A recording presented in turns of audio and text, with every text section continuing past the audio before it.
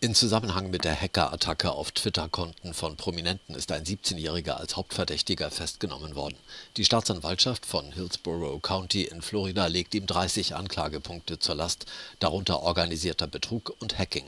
Über die gekaperten Twitter-Konten wurden andere Nutzer in Tweets aufgefordert, Beträge in der Kryptowährung Bitcoin auf ein bestimmtes Konto zu schicken. Im Gegenzug erfolgte das Versprechen, den Betrag doppelt zurückzuzahlen.